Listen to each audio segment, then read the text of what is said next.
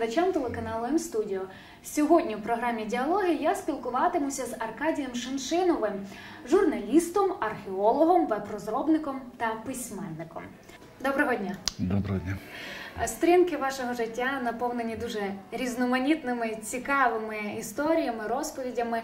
Е, З того, що я могла дізнатися про вашу біографію, справді дуже вражає. Е, Все воно таке ваше вже відоме е, життя, що відомо всім людям. Ви переїхали жити у Чехію. Це відбулося після розпаду радянського союзу, і так розпочалося і ваше нове життя.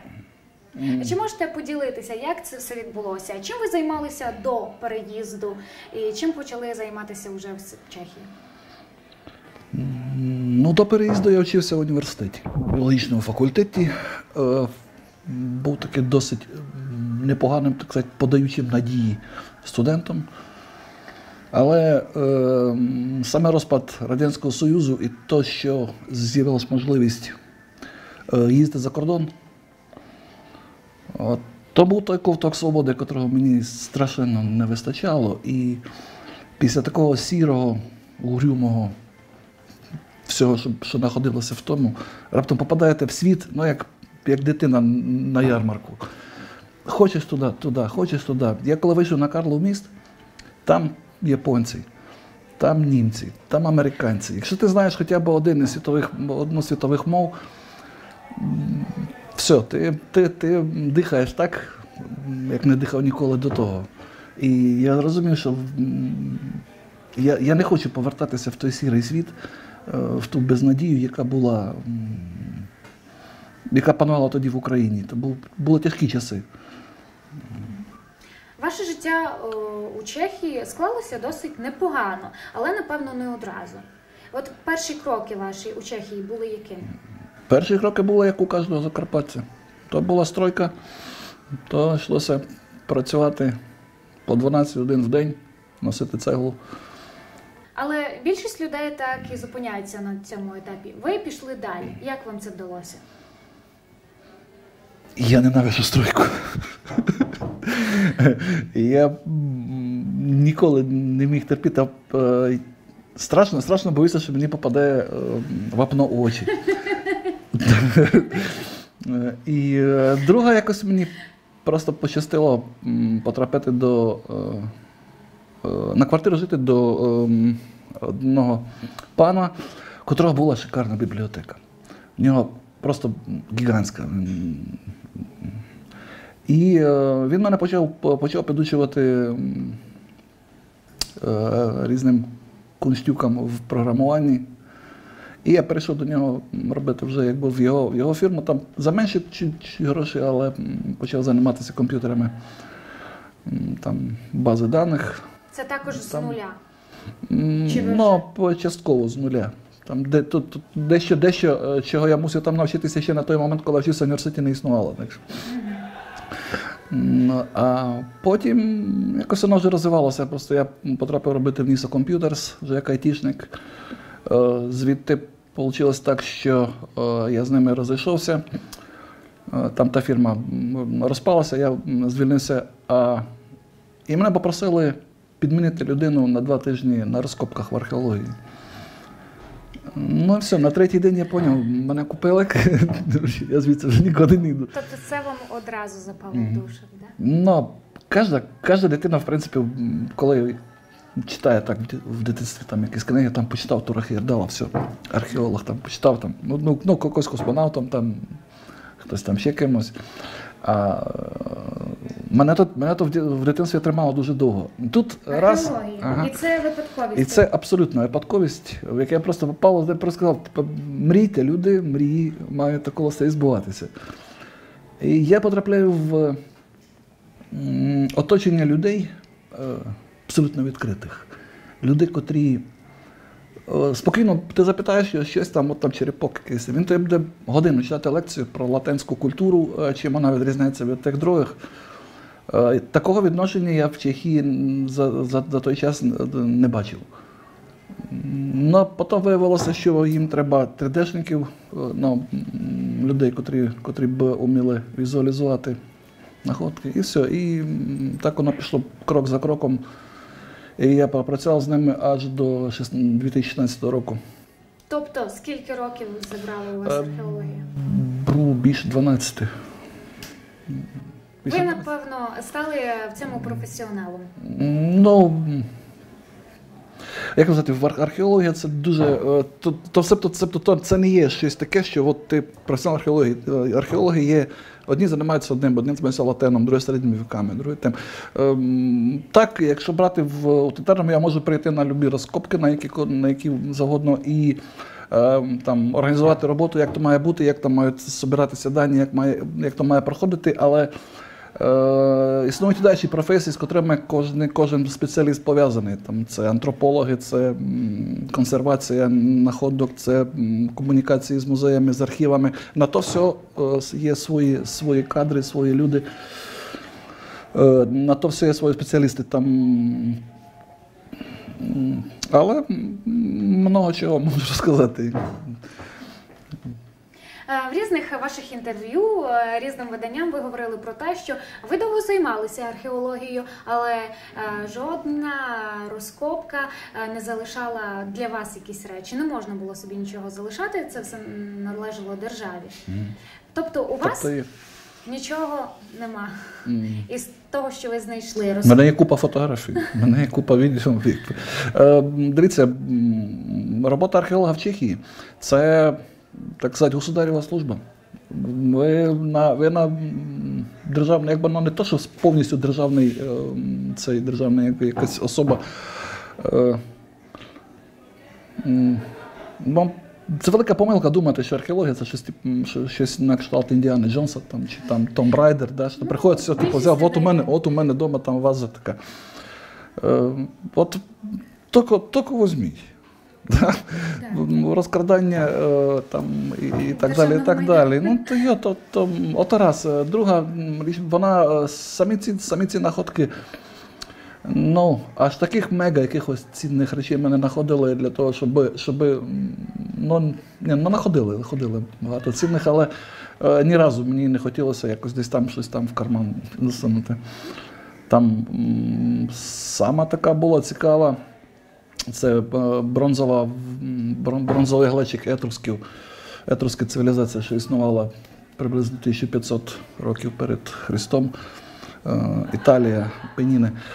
Е, І, і це ну, вона доказувала те, що вже існували в той час латен. От той, той, той момент, що ми копали тоді, то був, був латен, здається.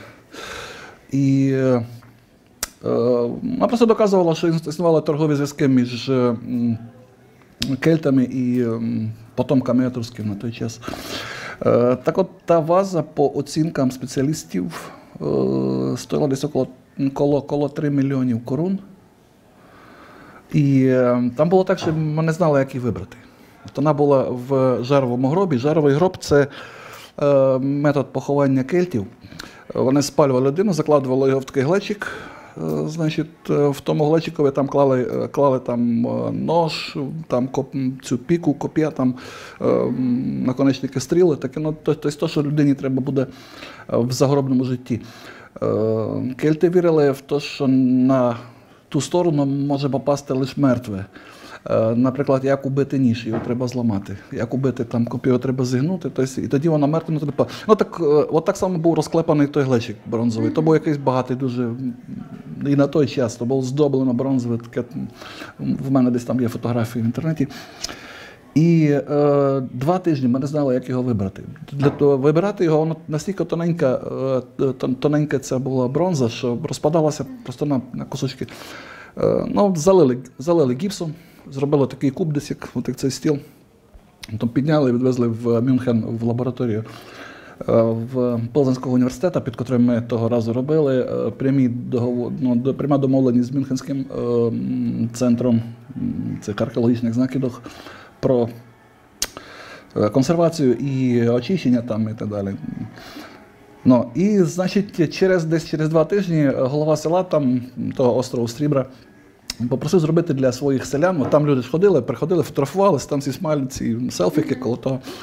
І е, просив зробити таку невеличку лекцію, Мене чекали. Там я зробив слайд-шоу, там е, професор Бажінка зробив там цілу собі там заготовив конспекти такі. Там всі наші так приготувалися. Там. Ну, і прийшла купа народу, десь ну, чоловік 150 там було. І е, Масилим розказує, значить, от там така, така, така, от саме така значима знахідка. Е, і таке питання: а скільки вона стоїть? А Божінка він такий флегмат, так каже: ну, пане, по так 3 аж 5 мільйонів. Але пак по тому, як це то консервує, буде стати так 27 аж 30 мільйонів. Там цілий зал так. «Ой, Як два тижні, два тижні це лежало там, і ніхто його не вкрав. Просто всі не знали, що воно стоїть. А воно, воно стоїть 2-3 мільйони. Там, там, там такий шок був тих селян. То, А чи думали ви про вартість речей? Чи, чи це для вас не знаю, було більш захоплення, ніж е, причиною знайти щось справді таке дороговартісне? Бачите, це помилка думати, що саме ці коштовні речі е, Вони найбільш вони, цінні. вони найбільш цінні. Це неправда.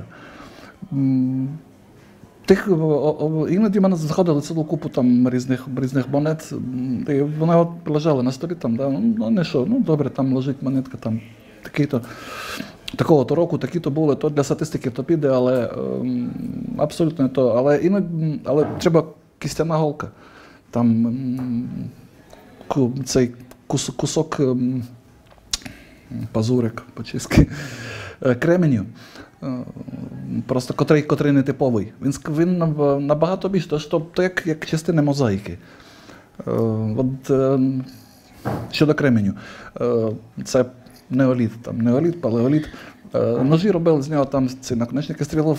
Справа в тому, що дивіться, як- який, який, який зв'язок між вже речами і, ем, е, і тим, що, що проходило. Якщо знаходиться матеріал, скажімо, кремінь, який типовий для Балтики, то значить, що в ці міста його якось мали привезти. Він ніде, ні- ніде більше не знаходиться.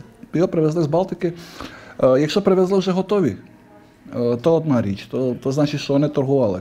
Вже якби була торговля чисто речами. Якщо привезли просто кусок кварцу або кусок кременю, того, і з нього потім робили ламість, значить в цьому місті вже вміли обробляти кремінь і. і е, Ну і так далі. Це, знаєте, це, це все ланки одного ланцюжка.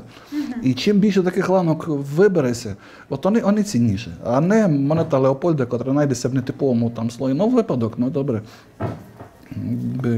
Статистична похибка, як, не знаю, як це сказати. Там. Тобто, тим більше ви інформації дізнаєтеся про ті. Ну, археологія як, е, є про те, щоб отримувати інформацію, а не знаходити ці цінності. Ну, любительська там така, ну то я би то не назвав археологією, це так балка. Ви розповіли про чашу за 3 мільйони. А чи це саме той випадок, який вас найбільше вразив із усієї вашої роботи? Е, Дивіться, е, е, цінні, цінні речі такого плану то одно. Е, Горождьовець було, було у нас розпрацювання Горождьовець. Тоді ми зняли шар 10 см на, на центральна площа міста перед костелом. Ми знімаємо шар 10 см. Там мала пройти реконструкція того, того, тої площі. 10 см вниз знаходимо купу ем, скелетів. На м, відсіку два, не, навіть не 2 метри, півтора, півтора метра на 10 метрів знайшлося на, на, глиб- на в шарові 70, 70 сантиметрів, знайшлося 30, 350 скелетів В центрі. в центрі міста. І то, і то було не все. Е, Рахується, що там буде більше 7 тисяч. Ну, я там працював десь два місяці, я, я документував це все. Це було кладовище? Що це було? Чума. Це була чума. Е, Чума 15 століття. Е, Справа в тому, що в той час всі, е, всі похорони проводилися біля костела в священній землі. Е, І в Чехії для Чехії характерно так звані етаж, етажові гроби. Значить, один, один над другим, над другим, над другим, над другим і, і так далі. Вони часом просідали, як це, це було. Але коли е, почався мор е, в Чехії, то тих трупів було так багато, що вже не хватало, не вистачало землі е, похоронити всіх. От, от то був то був досить такий для мене шок. Там, тому що кожен день там ви знімаєте версту от А як Два так? Чому на такій поверхні? Близько до поверхні.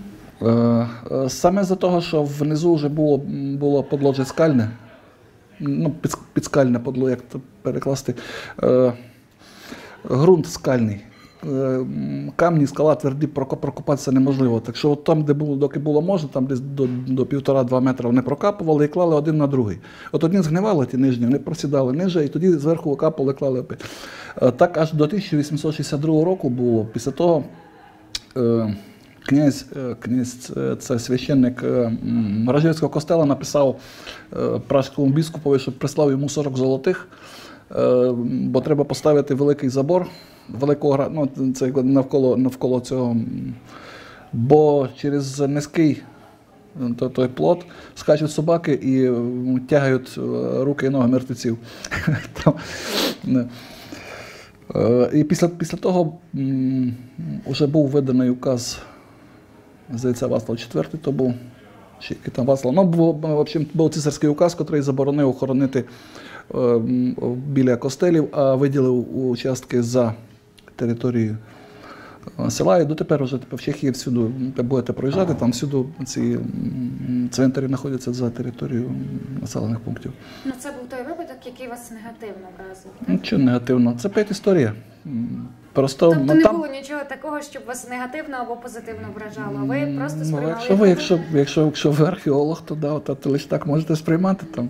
Е, знаєте, сентиментально було, ми знайшли, е, ми знайшли були дві, е, два скелети, десь 11 або 12-літніх дітей, от вони трималися за руки. Причому е, дуже нетипово було для 15 століття, що вона була віночкових, значить, з бронзи, такий з бронзових цих проводків зроблений, десь явно такий, як, як на свадьбу одягався. Тобто, і треба не триматися за руки. Макало рочисте, але в мене теж можете подивитися, в мене в інтернеті є. Е, ну, чума. Що, так було. Історія. Ну, це цікава сторінка вашого життя. Але у вас є і наступна. Ви почали писати. Е, Як це все відбулося? Да, це теж ну, зв'язано з археологією. Е, у нас з'явилися об'єкти в різних точках Чехії. Тобто наша фірма працювала по цілій Чехії. Мали Височина, середні Чехи, там, северні Чехи, там, западні Чехи. Мені доводилось так іноді і по 600-800 кілометрів в одну сторону кожен день. Ну, і людина нудиться за рулем. Тобі там їдеш і їдеш по тій магістралі. Ну, і починаєш якби сам собі розказувати якесь. Ну, не сам собі, а згадувати різних людей там. І якось мені так подумалося, от, от цікава ж історія.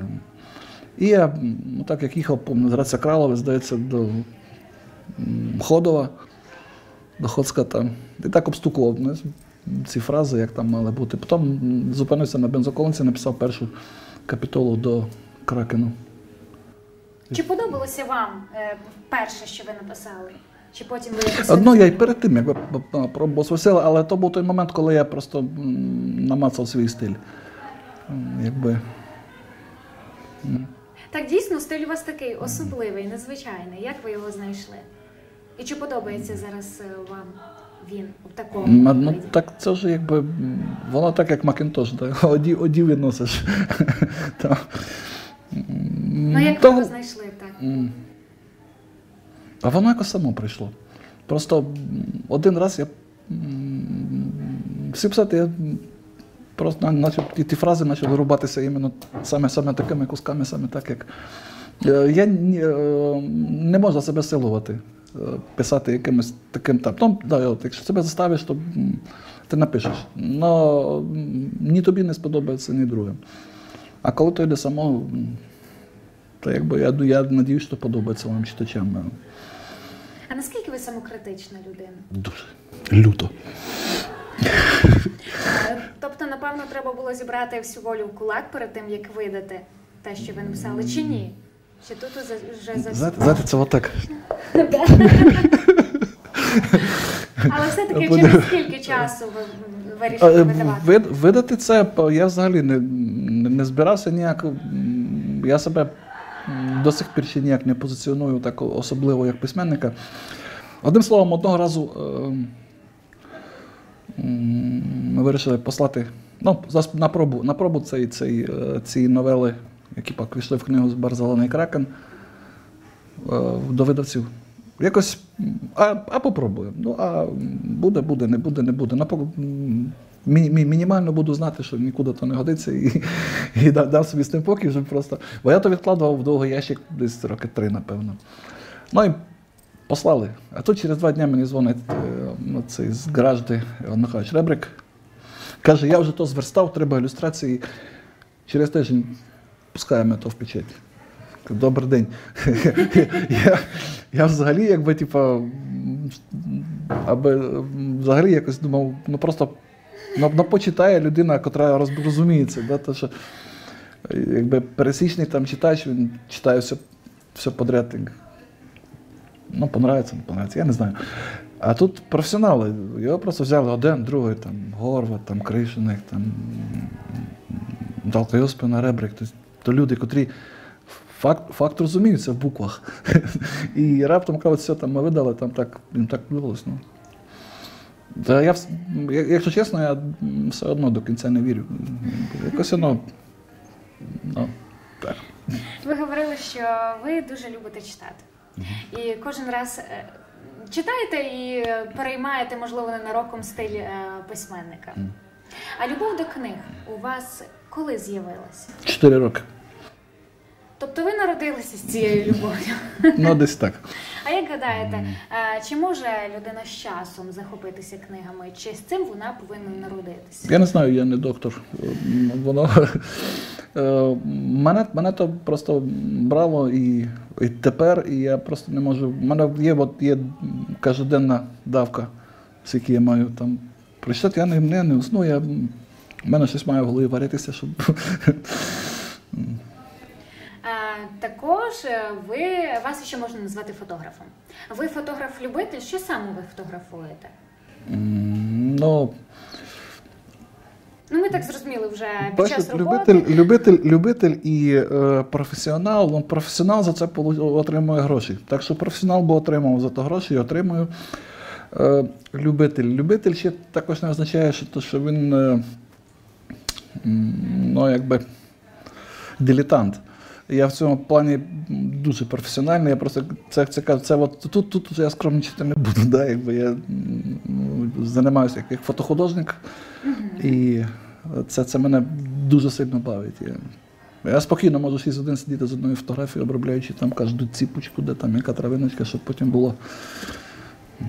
Я, ну, в, тому, в цьому плані я перфекціоніст страшенний. Лише в цьому плані. Ну, У всіх планах, так? не знаю. А якщо виділяти от одну діяльність, чи можна вас таке запитати, яку основну ви для себе виділили? Чим ви займалися впродовж усього життя? Е, Напевно, є люди, котрі кажуть, що от я там трубочист, і я трубочистом буду ціле життя. Я так не можу сказати.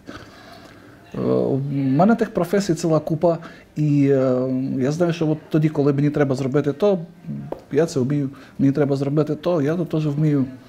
Там, це і то вмію. І якби ем, то, що я роблю, мені подобається. Якщо мені не подобалося те, що я роблю, я б його не робив. Це от про стройку. Да? Все. Але це також певний досвід, правильно, Мгм. і певні Е. Назвати, хто я. Ну, бачите, ви самі написали там чотири, там і письменник, там і фотограф, і все. Я не можу виділити, бо без кожного, без кожної з цих професій е, я би був як, от як без ноги. Або без руки, просто якби. бо, Я особистість, яка ці оці держить то все вкупі. І це все держить купи мене, якби. Так ніяк. ну. І можливо з часом і нові професії з'являться. До 100% я, я сильно надіюся. А, Ну це дуже чудово, тому що я не розумію, як можна виділяти і знаходити час, в принципі, на це все. Та ще ви ще й міло поєднуєте. Можете поділитися секретом, як це все відбувається? Любіть те, що робите. Треба любити те, що ви робите, і все. І ніяких вас не, не не виникне питання, що е, сьогодні, сьогодні я там маляр, завтра я там цей. Будьте собою, любіть те, що робите, все. Дуже гарно, дякую вам за розмову. Було дуже приємно познайомитися. Е, Я думаю, наступного разу, коли ми з вами зустрінемось, ви розкажете ще про якусь нову е, опановану вами професію. Що на завершення можете побажати нашим глядачам? Будьте самими собою.